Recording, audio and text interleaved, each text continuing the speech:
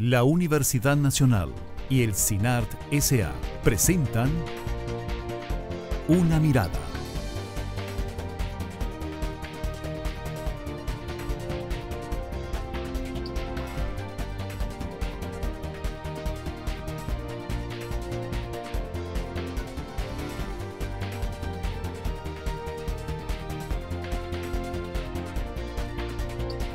Una mirada.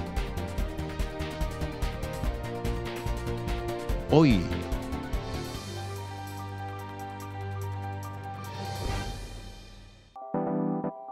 Eh, Bueno, en el lugar que yo trabajaba nos dieron un curso antes de pensionarnos, para, como para irnos adaptando a, a qué- cómo nos íbamos a sentir, este, cómo íbamos a estar, qué deberíamos de hacer. Entonces, Pues la verdad es que no. Este, yo no me preparé. Tenía, eh, sabía que me iba a pensionar porque yo eh, me tuve que pensionar antes de la fecha por razones de salud. que es muy difícil porque hay algunos patrones que, que, no, que no aportan, digamos, las cuotas que uno tiene. Se lo rebajan a uno y ellos no informan a la caja. Entonces, por ese lado, yo lo veo que es muy difícil una pensión a un futuro cuando uno se jubile. viví fuera del país y tengo espacios que no he cotizado. Yo soy de la caja del Seguro Social. Por lo tanto, eh, la edad la tengo para pensionarme, pero no los años. Entonces es una cosa que no la tengo en, en la agenda inmediata. acomodarse a la circunstancia porque el, el cambio es muy drástico de lo que la, recibe uno de pensión a los ingresos. Es muy duro, aparte de eso que los gastos que usted uno acostumbrado a hacer ya tiene que limitarse a una serie de cosas. Ellos inclusive en muchos foros y preguntas que se les han hecho a un grupo de grupos de pensionados, el primer factor que ellos consideran, eh, digamos, inestable o que necesitan una necesidad es la parte económica. Casi ningún sistema de pensiones actualmente en el mundo puede dar un 100% del último salario. ¿verdad? Entonces los trabajadores tienen que saber ¿verdad? que se les va a dar un porcentaje ¿verdad? de un promedio salarial que se calcula, calcula dependiendo ¿verdad? De, los, de los años ¿verdad? que haya cotizado, los salarios que el patrón haya reportado. Creo que nosotros como trabajadores, como costarricenses y sobre todo en el momento que está viviendo el país en un sistema de seguridad social golpeado eh, financieramente, es un momento de hacer un alto en el camino. Cada vez nos acercamos más a la jubilación, cada vez son más complicado el asunto de salud, ¿verdad? Cada vez las familias tienen menos hijos, ¿verdad? Y eso de alguna manera perjudica el, el régimen y precisamente creo que nosotros como trabajadores tenemos que hacer una conciencia importante de generar un ahorro para el proceso de jubilación. ¿qué significa eso? Que vamos a tener que cerrar la brecha de un 40 a un 35%. ¿En qué régimen? En el régimen de pensiones voluntarias que también ofrecemos las operadoras de pensiones. Ahí donde nosotros tenemos que, eh, un gran reto, la industria de pensiones, de fomentar educación de ahorro en ese régimen. Hola, ¿cómo están? Bienvenidos a una edición más de Una Mirada, el programa de la Universidad Nacional y el CINAR SA. Mi nombre es Maribel Quiroz Jara y le acompañaré en este programa a darle una mirada al tema de cómo se preparan las y los ticos para la pensión. Sí, la pensión, porque estoy segura que ustedes como yo empezamos a pensar en el tema de la pensión hasta que oímos recientemente eh, las advertencias de la Superintendencia de eh, Pensiones sobre el tema del riesgo que corre el régimen de pensiones de la Caja Costarricense del Seguro Social y la llamada de atención que se nos ha hecho al país y a la institución Caja Costarricense del Seguro Social sobre este tema. Definitivamente un tema que nos interesa a todos y todas porque en algún momento se llegará el momento de ejercer nuestro derecho a la pensión pero este tema no tenemos que pensarlo cuando falten 5, 2, un año para ello. Es un tema del cual tenemos que empezar a pensar desde que empezamos a trabajar. Sí, aunque usted no lo crea, así es, para que pueda garantizarse una pensión que le permita mantener una buena calidad de vida en sus años dorados. Y precisamente para hablar sobre este tema, hoy nos acompaña el señor Leiner Vargas, quien es economista y académico del Centro Internacional de Política Económica de la Universidad Nacional y ha sido colaborador de Una Mirada. Muchas gracias, don Leiner, por estar con nosotros. Un placer, Maribel, acompañarlos nuevamente en este programa. Muy bien, y también nos acompaña Mauricio Ávila, quien es intendente de la Superintendencia de Pensiones. Muchas gracias, don Mauricio, por estar con nosotros. No, gracias a usted por la invitación. Además, nos acompaña en esta oportunidad don Marvis Rodríguez, quien es gerente general de Popular Pensiones. Muchas gracias por estar con nosotros. Con mucho gusto, doña Maribel, un placer estar aquí en su programa. Muy bien, eh, como veíamos al inicio, eh, el tema de la pensión es un tema que nos debería interesar a todos y todas los costarricenses. Sin embargo, eh, cuanto más joven es la gente, menos piensa en este tema, ah, que me faltan 10, 20, 30 años. Eh, sin embargo, me parece que el campanazo que nos dio la Superintendencia de Pensiones el año pasado en torno al régimen de pensiones de la Caja Costarricense de Seguro Social puso a más de una persona a pensar, especialmente aquellas que nos encontramos en ese margen de aproximadamente dos décadas en que podríamos tener problemas con este régimen. Y entonces es cuando surge esa pregunta. Eh, ¿Qué tan preparados estamos los ticos para el tema de la pensión? Eh, tal vez me gustaría que ustedes me ayuden en este primer segmento a, explicarle a las personas que nos acompañan con su audiencia cómo eh, funciona el tema de las pensiones. Eh, ¿Cuál es el régimen en términos generales que opera en el país en esta materia? Tal vez, don Mauricio, usted nos puede ayudar a entrar en esta reflexión general sobre esto. Sí, claro, con mucho gusto. El régimen general al que están afiliados todos los cotizantes es el régimen de invalidez, vejez y muerte, que es el que administra la caja. Eh, originalmente este país lo que buscaba era justamente que la caja le diera una pensión a todos los costarricenses que estaban afiliados a ese régimen. Posteriormente se promulga la ley de protección al trabajador, cuando se empieza a ver que el régimen de la caja probablemente no va a dar pensiones tan altas y la gente, pues como usted bien mencionaba, cuando se quiere pensionar, quiere tener, disponer de buenos recursos para poder disfrutar de los planes que tenga para cuando esté pensionado, se promulga esta ley que lo que busca es justamente reforzar ese primer pilar que se llama, que es el régimen de invalidez, vejez y muerte de la caja, que puede ser el del magisterio para algunas personas, pero para la mayoría de los costarricenses es el de la caja. Y entonces se promulga una ley que lo que hace es que busca que las personas ahorren lo que se llama en el régimen obligatorio de pensiones complementarias, que es un segundo pilar que lo que busca es aportar un monto adicional a la pensión a la que le va a dar la caja. En ese sentido, este, lo, que, lo que debiéramos estar esperando básicamente es que el régimen de la caja nos dé alrededor de un 40% del salario, si todo sale bien, eh, de lo que se llama eh, para pensión y el régimen obligatorio de pensiones complementarias debiera estarnos dando alrededor de un 20% más. Los trabajadores que están afiliados a este régimen lo que hacen es que cotizan un 4.5% de su salario, que tarde o temprano casi todo termina llegando, digamos, a este régimen que le va a ayudar a uno a pensionarse, eh, a tener una mejor pensión cuando llegue la hora de la pensión. Ahora, en realidad lo que, lo que uno esperaría que, que funcione bien en un sistema de pensiones es que el ciclo de vida de las personas y el ciclo económico funcione tal como lo dice, digamos, la teoría económica. Y es que uno en los primeros 20, 25 años de vida es deficitario. Vive esencialmente de sus padres, vive esencialmente de los mecanismos de financiamiento cuando es el estudio, cuando es estudiante. Y cuando ingresa al mercado laboral, empieza a tener superávit económico. Ese superávit económico debe alcanzarle para poder vivir bien en su época laboral, pero debe considerar que en la parte alta de su vida, cuando supera los 65, en algunas sociedades cuando supera los 70 años, eh, y tiene que vivir 20 años en promedio, en el caso nuestro aproximadamente 20 años en promedio más, ¿ah? como ciudadano, eso, esa nueva situación cuando supera los 65 es deficitaria porque ya no puede trabajar o porque ya tiene menos condiciones para trabajar y entonces tiene que vivir de lo que ahorró durante el periodo, digamos, de producción o de superávit eh, entre los 25 y los 65 años.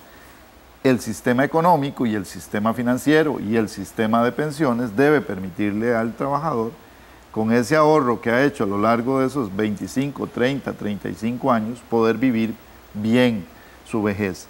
Porque además, y eso es importante, en la vejez es cuando se suman una serie de costos, sobre todo de salud y de atención de una serie de cosas que nosotros no estamos acostumbrados, ¿verdad? Los que andamos ahí rondando los 40 todavía tenemos, ¿verdad?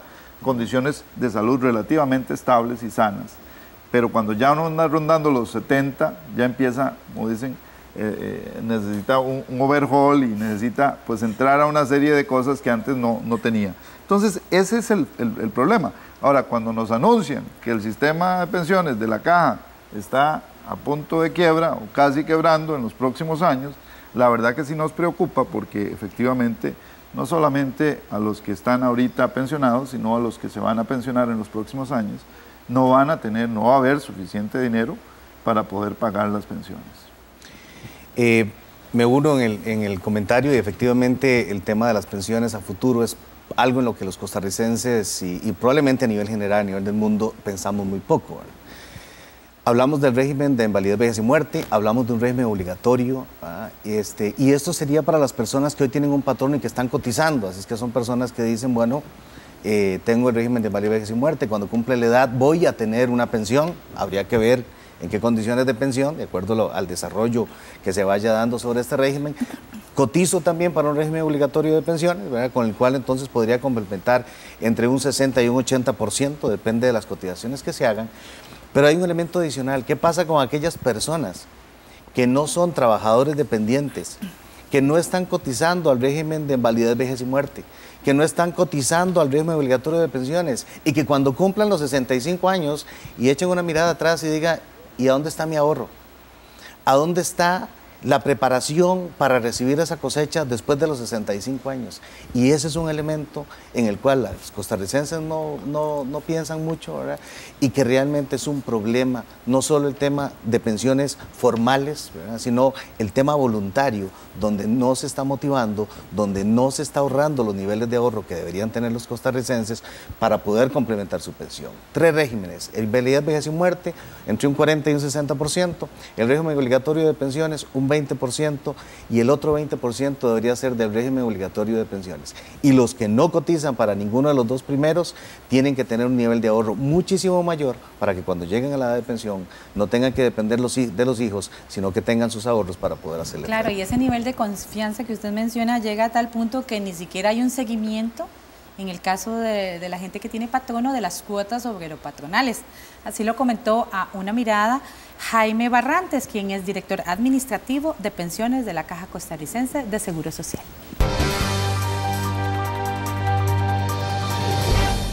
Bueno, por lo general este, el asegurado nuestro pues se acerca a nuestras oficinas a preguntar fundamentalmente cuántas cuotas tiene, cuál es eh, su fecha de pensión, a qué edad se retiran, eh, cuál es el monto de pensión que les tocaría. Generalmente, ¿verdad? cuando se va acercando ellos se van este, el momento de la pensión se van acercando a nuestras oficinas, ¿verdad? A preguntar. Sí, lamentablemente, pues las personas no han revisado su historial laboral, no han visto bien si el patrono les ha reportado el salario correcto y entonces sí, en algunos casos, lamentablemente, pues algunos se llevan algunas sorpresas, ¿verdad? Bueno, nosotros estamos incentivando a todos los asegurados a nuestro régimen que estén constantemente revisando su orden patronal, que estén sus datos correctos y también hemos puesto a disposición que cualquier asegurado nuestro pueda acercarse a nuestras sucursales y solicitar una clave de acceso a nuestra página web para que ahí pueda ver todo el detalle de sus cotizaciones. Ahí puede haber todas las cuotas que ha reportado, si, si el patrón le está reportando bien el salario y el monto de, pensión proyectada. ¿verdad? Sí, claro, todo lo que sea ahorrar para pensión ¿verdad? es lo más recomendable. ¿verdad? Así que el costarricense pues, debe ir preparándose desde ahora, desde que es muy joven, acostumbrarse a ahorrar, si puede incluso en un ahorro voluntario del tercer pilar, para complementar la pensión que nosotros en la caja le vamos a dar, la que le va a dar su, operación, su operadora de pensiones e incluso un, un tercer ¿verdad? Este ingreso que pueda provenir de algún ahorro que la persona pueda hacer. Ahorrar parece ser una de las claves eh, en este tema, pero no dejarlo para el final también. Sí, y yo llamo la atención mucho, sobre todo ahora que tenemos estos altísimos índices de deserción en los colegios y en las universidades. porque está demostrado por estudios eh, económicos de corte, ¿verdad? De cortes a lo largo del tiempo, que un año más de educación formal eh, significa ingresos adicionales muy altos para el ciudadano, para el trabajador a lo largo de su vida productiva. De tal manera que flaco favor le hacemos a la sociedad y flaco favor nos hacemos como ciudadanos cuando salimos del colegio e intentamos ingresar al mercado laboral a los 17, 18, 19 años, muchas veces pensando que con eso nos vamos a ganar mucho a lo largo de la vida, pero resulta que después nos damos cuenta que efectivamente nuestros salarios y nuestros ingresos en ese nivel son mucho más bajos. Sería mucho mejor invertir el tiempo que tenemos hasta los 25 años en educarnos, en invertir inclusive en financiar la educación, para poder de alguna manera ingresar al mercado laboral con oportunidades más altas. Y el segundo tema que me, que me, parece importante es tomar en cuenta que hay que decidir muy bien a qué actor, a qué entidad financiera le voy a entregar los recursos, porque esto no es un negocio de corto plazo, esto es un negocio de largo plazo. Entonces, no se vale simplemente, ¿verdad? Unos rendimientos de corto plazo ahí, de que hay un puntito más, un puntito menos, y irse con la finta, como decimos en el fútbol. No se vale porque efectivamente el costarricense tiene que empezar a pensar que su ahorro es de 30 a 35 años, que cuando va a recoger tiene que estar en una institución estable, en una institución que le garantice efectivamente los rendimientos a futuro, ¿verdad? Y es ahí donde yo tengo algunas preguntas, sobre todo en el tema de la caja, ¿verdad? Porque lamentablemente las inversiones que se hacen muchas veces no son las mejores inversiones y muchas veces no se garantiza, ¿verdad? Que efectivamente lo que uno le está entregando a la caja o lo que le está entregando a alguna operadora, tal vez don Marvin nos cuenta cómo funciona el Banco Popular, se invierte de tal manera que cuando uno reciba el dinero, ese dinero valga lo que uno realmente quiere que valga. Es decir, el principal más los intereses que aseguren la capacidad de compra 20 o 30 años después. ¿eh? Entonces es muy importante que el ciudadano tome conciencia de eso, no solo de cuánto le cotiza el patrón, sino también de a qué institución se cotiza. Sí, definitivamente hay mucha tela que cortar en este tema y por eso es que están ustedes aquí hoy. Pero ahorita vamos a ir a un corte, quédese aquí en una mirada que ya volvemos.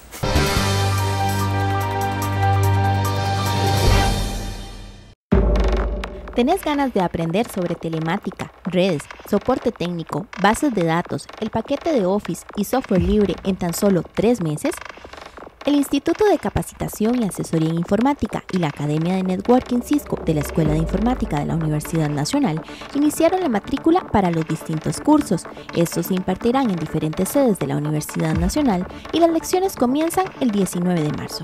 Para más información sobre los horarios, costos y contenidos de los cursos, puede llamar al 2277-3551 de la Escuela de Informática de la Universidad Nacional.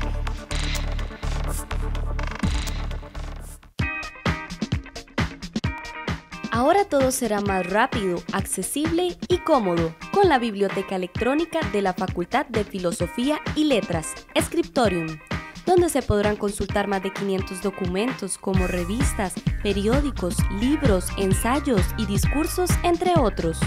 No se complique, ingrese a nuestro sitio web o a nuestro Facebook con el nombre Scriptorium y tenga acceso inmediato a producciones de alta calidad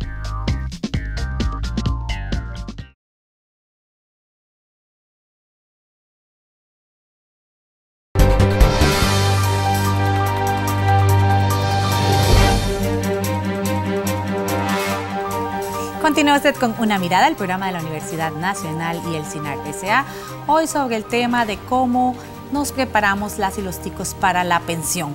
Si es que nos preparamos, porque definitivamente una de las primeras cosas que tal vez me gustaría retomar en este segundo segmento es ese asunto que la gente empieza a pensar en la pensión hasta que ya está muy cerca. No hay una cultura en el país de que usted debe preparar eso desde que empieza su vida laboral. Sí, eso, eso es muy importante. Eh, financieramente el, interés capitalizable es algo que le explican a las personas cuando van a la universidad y de que estamos hablando aquí, que los intereses ganen intereses. Es decir, si usted empieza a ahorrar y lo hace a plazos muy largos y después de 25, 30 años realmente el, interés que se va capitalizando le va a generar mucho dinero. Entonces es muy importante que si bien es cierto que cuando uno tiene 20 años está pensando, como decía Don Leiner, en, en la novia, en casarse, que si compro casa, que si compro carro, apartar una parte pensando que en algún momento vamos a estar pensionados, que vamos a querer estar tranquilos y disfrutando. Y de nuevo, dejar que la plata trabaje por uno buscando intereses que se le capitalicen. Otro punto que también acá es, es importante, como también mencionaba Leiner, es que estamos hablando de inversiones a largo plazo. En ese sentido es muy importante que la asignación estratégica, dicen la gente que entiende esto, de los activos en los que se invierten las pensiones, sea la adecuada claramente en este país tenemos que tenemos eh, hay avances por, por hacer. La superintendencia de pensiones está trabajando en este momento en unas nuevas políticas de inversión que se le dictarían a las operadoras de pensiones. Y aquí hago una pequeña digresión. Lamentablemente la, la superintendencia de pensiones regula y supervisa a todas las operadoras de pensiones de ese país y los regímenes de pensiones, menos al de la caja. Entonces nosotros al de la caja no le podemos decir qué es lo que tiene que hacer. Le podemos decir, mire, usted tiene problemas es el por punto aquí de ustedes y tiene este problemas por allá. Exactamente. Y hemos tratado de transmitirle a la sociedad que es importante Tal vez que no sea la SUPEN, pero no se vale que uno sea juez y parte. Y en este momento la caja es juez y parte, porque nadie la regula y nadie le dice si lo está haciendo bien y mal. Entonces la sociedad costarricense como un todo debiera plantearse, debiera preguntarse si ese esquema es, eh, tiene sentido o no.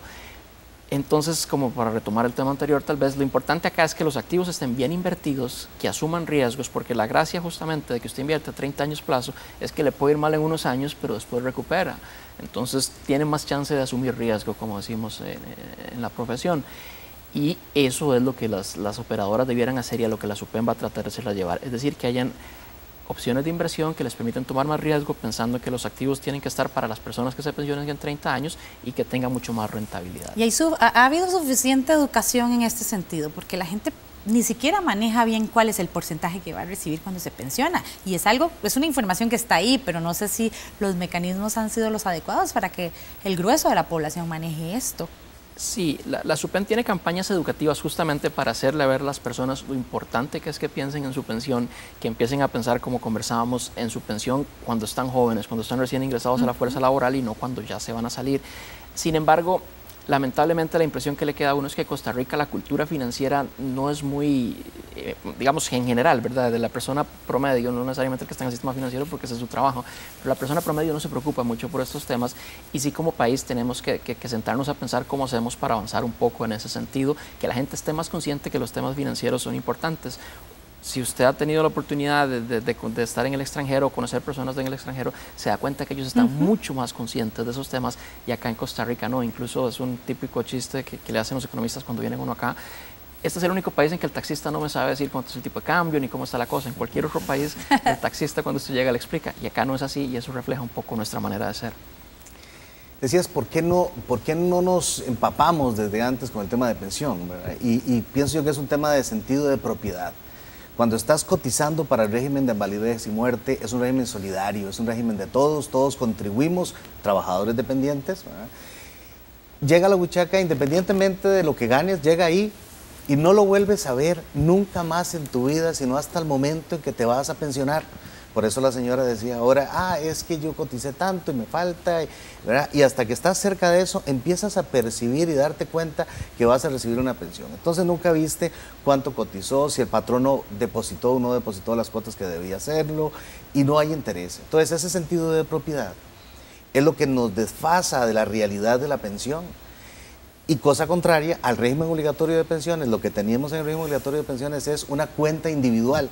Ya no es el régimen solidario donde va toda la canasta y ahí salen las pensiones y lo que hay ahí es lo que nos van a dar de acuerdo a lo que hayamos cotizado, sino que en el régimen obligatorio es una cuenta individual a nombre de cada uno de los trabajadores del país, donde se cotiza en una proporción directa con el salario que tiene. Y mes a mes va a tener un estado de cuenta que le dice cuánto está ganando, cuánto está recibiendo producto de los, de los rendimientos de esas inversiones y empieza a sentir que esos fondos de pensiones obligatorios son suyos. Y eso es tremendamente importante. Y las inversiones que se hagan. Entonces, ahora hablábamos de seguridad. Y la seguridad es el primer elemento para escoger una operadora de pensiones. Estará esa empresa de aquí a 30, 40 años, cuando yo me vaya a pensionar, es la empresa más eh, eficiente en el manejo de los recursos, es experta en el manejo de las inversiones y ahí empieza el cuestionamiento cuando la persona sienta que esos recursos son de él y que tiene que velar por ellos, por una buena administración, al igual que escoge un banco para depositar en su cuenta de ahorros, en su cuenta corriente, con el certificado de depósito a plazo, y que lo ve cada vez, que ve cuánto tiene ahorrado, iguales son las pensiones complementarias. Pero también hay que tomar en cuenta de el cambio en el tema de población que vive el país y que viven en general los demás países en el mundo, que ya Europa lo vivió y que lo estamos viviendo en América Latina. La OIT ha hecho estudios sobre esto. En los regímenes de reparto, como el régimen de la caja, donde echamos la plata todos los costarricenses y de la plata que echamos y de lo que se ganan los intereses se paga a los que están pensionados. Cuando nosotros cotizábamos eh, en los primeros años, eh, tal vez habíamos más trabajadores, pero a lo largo de los años se va reduciendo el número de trabajadores que cotizan para ese régimen porque la pirámide poblacional se va ensanchando en la edad de pensionarse. Estamos más o menos como un 7% de personas que superan los 65 años en este momento y se dice que en el año 2050 vamos a llegar a ser aproximadamente un 25% de la población adultos mayores. Eso significa que la cantidad de personas que van a cotizar a ese régimen va a disminuir sustantivamente. Por lo tanto, el régimen necesita ser mucho más eficiente para poder hacerle frente al número de pensionados. Y aquí hay una situación muy clara, ya lo ha anunciado tanto la OIT como la SUPEM, de que en el caso de la SUPEN ha dicho que a 20 años plazo, en el caso de la OIT que a 35 años plazo, pero ambos coinciden y yo he visto los estudios y los supuestos y la verdad es el mismo estudio, solo que con supuestos diferentes. La, la situación es que ambos coinciden en que es mejor tomar medidas a tiempo, ojalá cuanto antes en el sistema, porque de lo contrario, si esperamos 10 o 8 años a que esto empiece a generar una bola de nieve negativa, eh, eh, vamos a tener una quiebra evidente en el sistema. Y esas medidas son medidas muy duras, como por ejemplo lo que ha planteado la Defensoría de los Habitantes, ¿verdad? Que aumente la edad de pensionarse, o como se ha planteado por ahí, que aumente la cuota que se le da al régimen, o inclusive que disminuyan los beneficios que tienen algunos de los que participan en este régimen. Ahora hay que tomar en cuenta que nosotros, como evidentemente lo ha dicho Marvin, no estamos viendo individualmente cómo se va generando nuestro ahorro en ese sistema, porque es una masa de salarios de conjunto. Sí, en efecto. De hecho, em, Georgina Díaz, gerente general de seguros del Magisterio, eh, recomienda que los costarricenses, aparte de, conocer sobre el régimen eh, de la caja o al que estén afiliados eh, de una manera formal, que piensen en otras alternativas e incluso se llega a hablar de pensar en ahorrar aproximadamente un 10% del salario mensualmente en una pensión voluntaria. Imagínense, si la gente ve como una carga tener que cotizar para el régimen de pensiones de la caja, porque mucha gente lo ve así, si le hablamos de que además de eso tiene que pensar en un 10% adicional, definitivamente hay mucho tela que cortar en materia de educación para la pensión en este país. Vamos a ver el comentario de doña Georgina.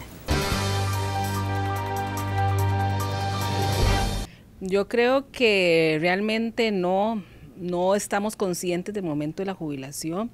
En el año 2000 que hubo un proceso de modificación a la ley de pensiones donde se creó la, la ley de obligatoriedad del régimen de pensiones complementarios, ahí de alguna manera nos vimos enfrentados a tener que cotizar una pensión complementaria. Sin embargo, seguimos siendo eh, no previsores para el momento de la, de la pensión. Creo que nosotros como trabajadores, como costarricenses y sobre todo en el momento que está viviendo el país en un sistema de seguridad social golpeado eh, financieramente, es un momento de hacer un alto en el camino.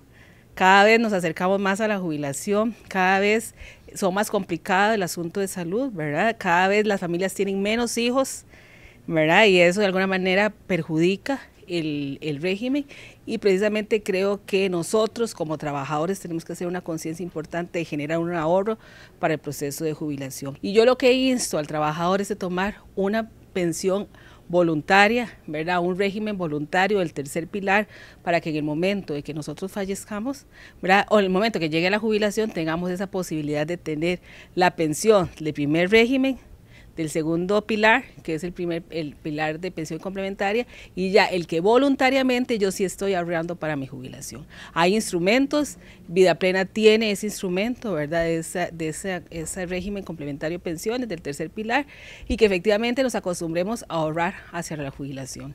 Hay estudios que dicen que más o menos el 10% del ingreso mensual que uno tiene es el que debería estar aportando uno como parte de ese ahorro complementario, ¿verdad? Eh, dependiendo de lo que usted, sus, capacidades de, ahorro, dependiendo de su calidad de vida, dependiendo de sus gastos, pero una proporción así más o menos conservadora es que el 10% de nuestro ingreso lo podamos destinar nosotros a un ahorro complementario para la pensión. Pero también es muy importante, como decía don Leiner, no solo el tema de ahorrar, sino de asegurarse que ese ahorro sea administrado de la mejor manera, tanto por el Estado, la operadora que sea, o eh, por las otras operadoras eh, que ofrecen servicios eh, para una pensión voluntaria. Claro. Efectivamente, o sea, el desarrollo y la acumulación de los fondos de pensiones, tanto obligatorios como voluntarios, está en la generación de los intereses que se vaya dando día a día. Entonces eh, hay, un diseño de inversión donde todos los intereses, las operadoras de pensiones, los acreditamos a la cuenta de cada uno de los trabajadores en forma diaria. Ah, y las inversiones eh, son manejadas por expertos en inversiones. Entonces son gente calificada, gente que ha sido preparada formalmente para esto, no solo para incursionar en los, mercados nacionales, donde ya estamos todas las operadoras de pensiones, sino incursionar en los mercados internacionales que tienen condiciones de inversión y de especialización muy diferentes. Entonces, las operadoras de pensiones que manejamos los regímenes complementarios, tanto el obligatorio como el voluntario, estamos en la capacidad de administrar esos recursos en la forma más eficiente, donde eh, buscamos un equilibrio, no solo es una, buscar una rentabilidad como tal, sino es, un equilibrio entre riesgo-rentabilidad. Puedes tener una excelente rentabilidad, pero en, una inversión o un emisor que sea muy riesgoso. Entonces, debes buscar ese equilibrio de tal forma que garanticemos que las inversiones que hagamos sean recuperadas para poder generar esa capitalización y no se tengan pérdidas en el proceso. Importante acá también reafirmarle a los costarricenses que ese es justamente el rol de la SUPEN. La SUPEN lo que hace es que supervisa y regula a las operadoras de pensiones para que, para decirlo coloquialmente, no hagan loco con la plata. O sea, nosotros lo que estamos es velando porque efectivamente se cumplan los lineamientos de inversión. Y se cumplen. Y se cumplen al 100%. Se cumplen en el país en este momento. Podemos estar tranquilos de que nuestro dinero está bien administrado. Lamentablemente yo no puedo hablar por la caja porque no la, no la supervisamos y la regulamos. Perdón, no la regulamos. Pero por las operadoras de pensiones esas efectivamente están cumpliendo con toda la regulación y nosotros siempre estamos en constante contacto con ellas para estar revisando que la cumplan y más aún ser proactivos para ver qué más cosas pueden hacer para que esas pensiones vayan a estar ahí, porque no se vale ahorrar 30 años para que después se lleven una sorpresa de que la plata no está ahí. Eso no va a suceder en este caso.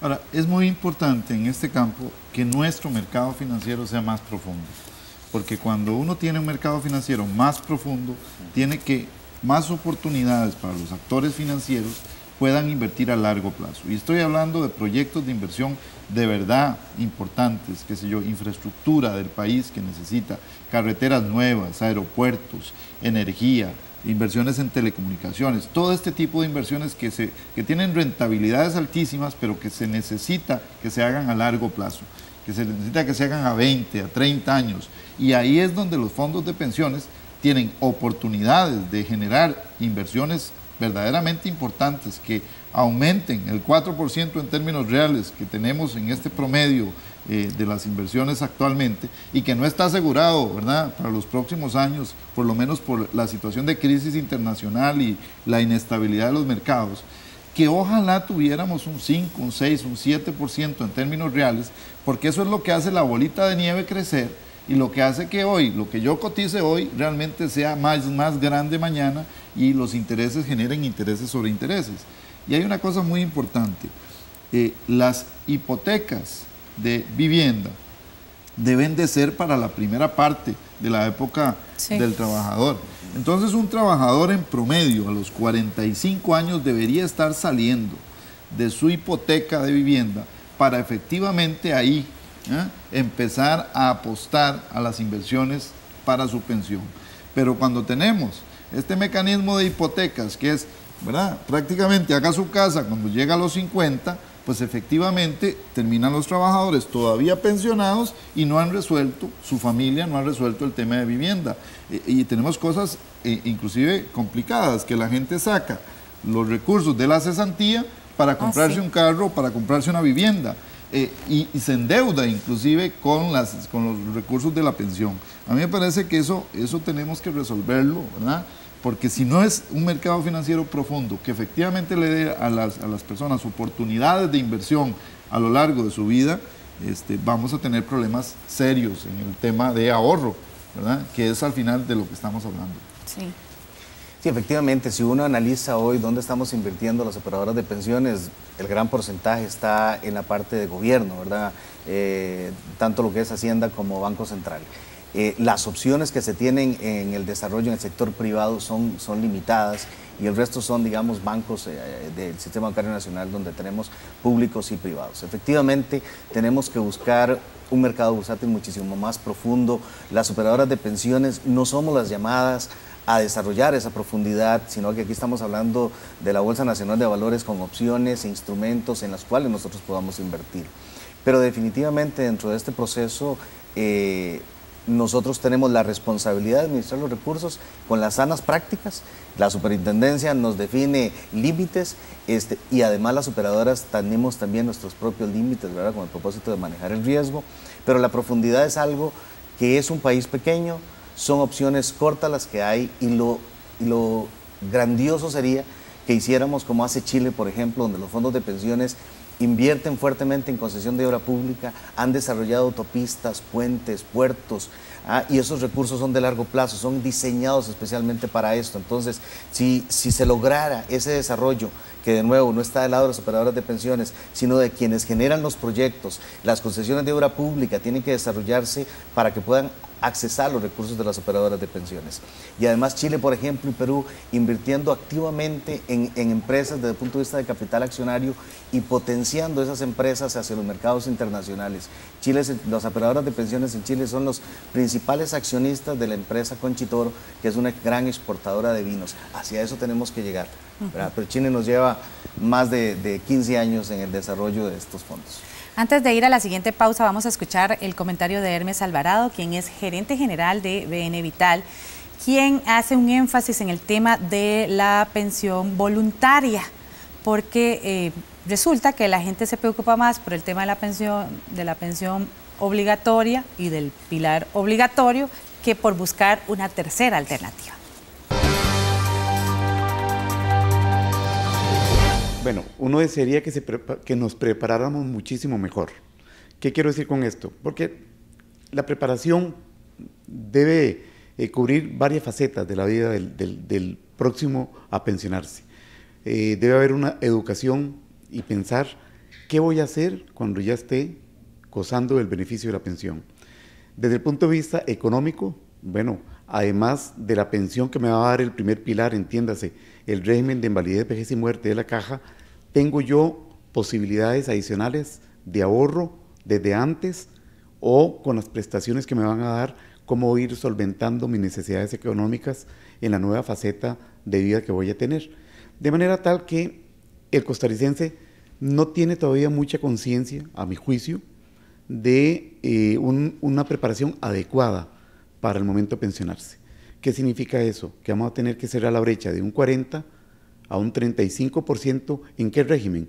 En el régimen de pensiones voluntarias que también ofrecemos las operadoras de pensiones. Ahí donde nosotros tenemos que, eh, un gran reto, la industria de pensiones, de fomentar educación de ahorro en ese régimen. Pero el tema de prepararse para la pensión implica muchas cosas más y de eso vamos a seguir conversando aquí en una mirada, pero primero vamos a ir a una pausa. Quédese con nosotros que ya regresamos.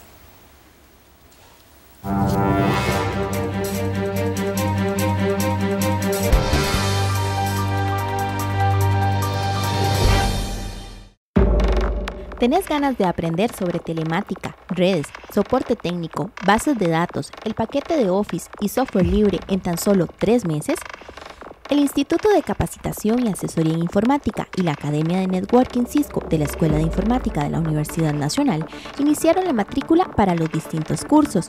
Estos se impartirán en diferentes sedes de la Universidad Nacional y las lecciones comienzan el 19 de marzo.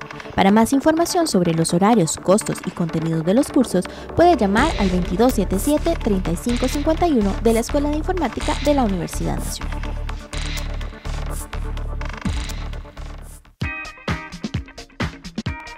Ahora todo será más rápido, accesible y cómodo con la biblioteca electrónica de la Facultad de Filosofía y Letras, Scriptorium, donde se podrán consultar más de 500 documentos como revistas, periódicos, libros, ensayos y discursos, entre otros.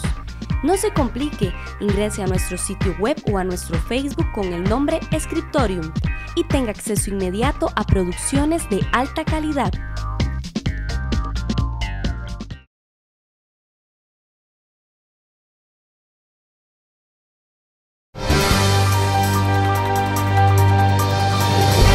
Continúa usted con una mirada al programa de la Universidad Nacional y el CINAR SA, hoy con el tema de cómo nos preparamos las y los ticos para la pensión, si es que nos estamos preparando de alguna forma. Ahora, en el segmento anterior, eh, al finalizar, hacíamos un énfasis en el tema de la pensión voluntaria. ¿Tiene una, la cobertura que deseáramos esta pensión voluntaria? Porque las otras dos son obligatorias, o sea, tiene que tenerlas porque tiene que tenerlas. Pero el tercer pilar es fundamental. ¿Tiene la cobertura que deberíamos tener? Eh, yo pienso que el, voluntario es, es, un fondo que ha sido utilizado por muy pocos en nuestro país. Y, realmente el, fondo obligatorio es el que tiene mucho más eh, volumen en fondos administrados y tiene muchísimo más afiliados, son todos los trabajadores. El voluntario es una necesidad para todos los trabajadores de este país. Y cuando hablo de trabajadores es general, no solo los que tienen un patrono que les cotiza para esa pensión, tanto obligatoria como la del IBM, sino que tiene que ser para los trabajadores independientes, aquellas personas que no tienen un patrono. Estamos hablando del dueño del taller, el, abogado independiente, el médico, el dentista, este, el taxista, el chofer, todo este tipo de personas que están trabajando, que no están cotizando para ningún régimen y cuando lleguen a la edad de pensión simplemente no tienen de dónde tener un recurso al cual echar mano. Entonces, a nivel de conciencia me gustaría que también todos estos trabajadores independientes sientan la necesidad de ir creando esa pensión. Y eso que parece eh, eh, difícil, ¿verdad? Porque el tema del ahorro es cuál es la capacidad de ahorro que tenemos los costarricenses. Este, y normalmente cuando llegas a vender los planes de pensiones dicen, pues, pues que no tengo la capacidad de ahorro para hacerlo. Y es una relación muy sencilla, son 4.250 colones por cada 100.000 colones que la persona tiene de salario. Eso es lo que debería estar ahorrando durante 30 años. Además es un tema de disciplina entonces, ¿verdad?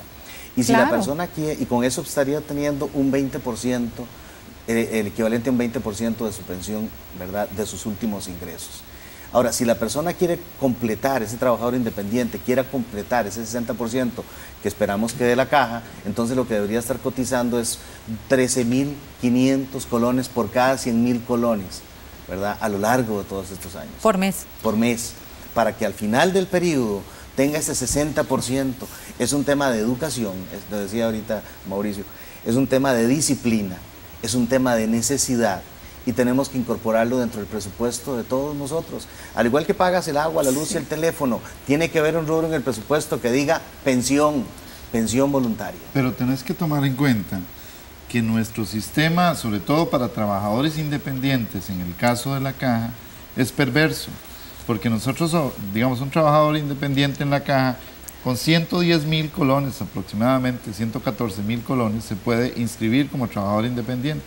Claro, paga mucho menos por el régimen de maternidad e enfermedad, pero cotiza muy poquito para el régimen de pensión, tanto de la caja como los regímenes del segundo nivel.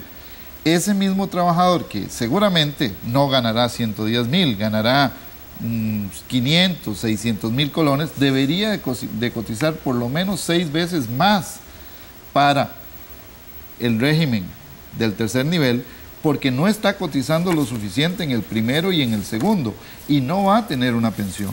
Y esto es muy importante para un cerca de un 20-25% de los trabajadores que se llaman trabajadores independientes, pero en realidad que, lo que están haciendo, por supuesto que es, un, es perverso, están, de alguna manera no están entregando todo su salario a la caja, sino lo están reportando pero por lo menos deberían de tener la conciencia de que cuando van a, a, cumplir los 65 años van a tener una pensión muy pequeña, eh, van a sufrir una situación terrible.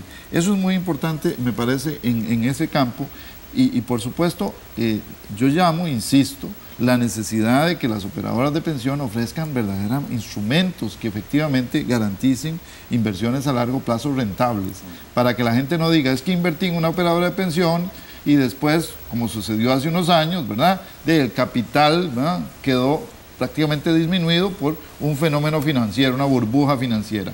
Tenemos que asegurarle a las personas que se está invirtiendo en instituciones serias, instituciones que a largo plazo van a mantener el, poder adquisitivo de ese dinero y, tenemos que ser muy vigilantes, no solo la SUPEN, sino todos los trabajadores, de que efectivamente eso está pasando. Tal vez tres cositas rápidas.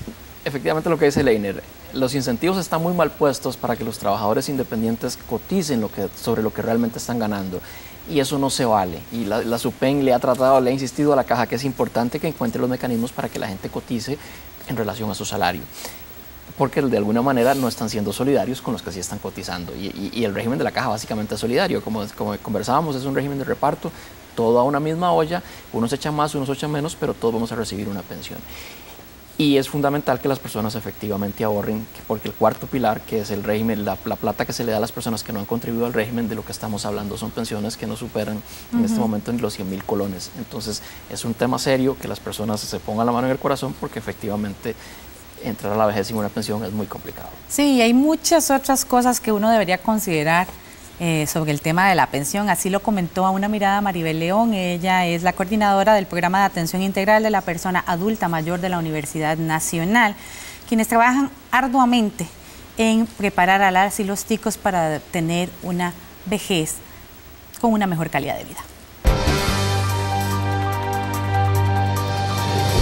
Eh, no podemos generalizar eh, hay muchas instituciones que preparan a sus trabajadores para ese momento tan importante en la vida.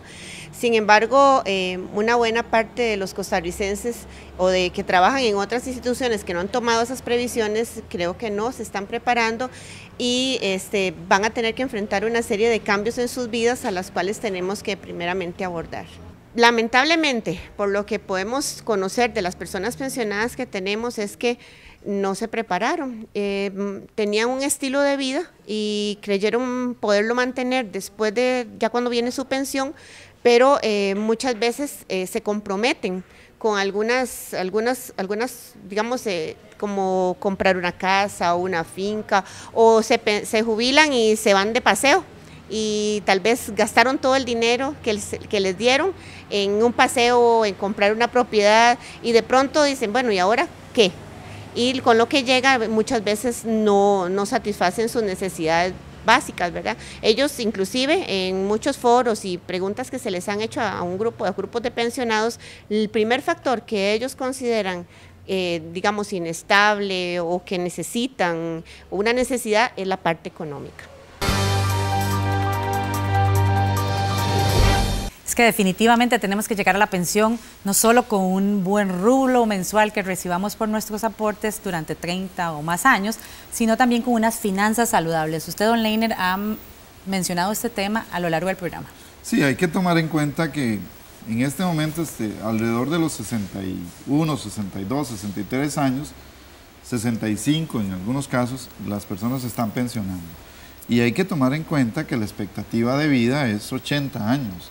Es decir, hay que planearse para esos 20 años en promedio, en algunos casos 30, dichosamente en el caso de mi abuelo está llegando a 97 años, ah, aprovecho para saludarlo. Dicen que eso se hereda, don eh, esperemos que tenga algo en la sangre, pero lo más importante es planear esos años que vienen y hay que entender que cada vez es más difícil, la curva de esfuerzo del ciudadano, de la persona va a ser más dura, más difícil en términos de salud, en términos de gastos, en términos de esfuerzo. Entonces, tanto la cesantía como el fondo de pensión y la pensión, tiene que uno llegar ya ojalá sin prácticamente sin deudas para poder enfrentar esta etapa más dura con esos recursos y poder realmente eh, poder vivir dignamente, ¿verdad? Eh, no darle la pensión a los nietos y de repente, o la cesantía a los hijos, y de repente me quedé sin nada y tengo que vivir mantenido después en, la última parte de la vida. Es fundamental eso, ¿verdad? Tratar de llegar sin, sin deudas a la, a la, edad de jubilación y hacerse un plan de vida, hacerse un plan de vida y entre más rápido, más joven se haga ese plan de vida va a ser mejor. Proyectarse y decir, ¿qué quiero hacer yo cuando me vaya a jubilar? Qué me gustaría hacer, qué me gustaría tener y a partir de esos planes de vida que me doy, pues ahorrar acorde desde el principio, entre más rápido empiece, más, más, más, más, más me va a crecer este dinero ahorrado. El plan de vida es fundamental, es muy común en otros países que la gente se reúne con un asesor que le dice, dígame usted qué es lo que quiere tener cuando se pensione y pensemos cuántos que tiene que ahorrar ahora. Los costarricenses debieran pensar por ahí también. Es un tema de ahorro, o sea, tenemos que definirlo en esa forma. Hoy, y yo quiero hacer énfasis en los trabajadores independientes, ese trabajador necesariamente debe pensar qué va a pasar con él cuando tenga 65 años. Y si la respuesta es, no tengo ahorros hoy, debe empezar a construir esos ahorros. Y si va a enfrentarse a los 65 años dependiendo de sus hijos, entonces debe reflexionar sobre su realidad y ver cuáles son las soluciones que debe tener hoy en sus negocios, en sus empresas, en su forma de vivir, con el propósito de poder ir construyendo, ir sembrando ese granito de ahorro todos los días, todos los meses, durante los años que aún le quedan de trabajo, para que pueda tener al momento de su pensión recursos a los cuales hacer frente, no para malbaratarlos, no para irse de viaje, no para hacer cosas que, son indebidas, sino para ahorrarlos y poder mantenerse a lo largo de su vejez. Sí, este, ese es un punto importante, porque hemos hablado de preparar la pensión, pero creo que también cuando uno le llega la pensión, también tiene que preparar no sé, un plan de vida, un plan de gastos, de manera que los recursos le alcancen durante todos los años que le queden por delante. Sí, es, muy importante que lo invierta en calidad de vida, que, que, las personas efectivamente ejerciten eh, la edad adulta dentro de sus potencialidades. Yo no, yo no me opongo a que haga algún viaje, pero si está dentro de su plan de vida, si está dentro de su plan poder adquirir alguna propiedad, irse al campo, vivir, tener alguna interacción, entendiéndose como dentro de su proyecto de vida, si eso lo va a hacer feliz, está bien.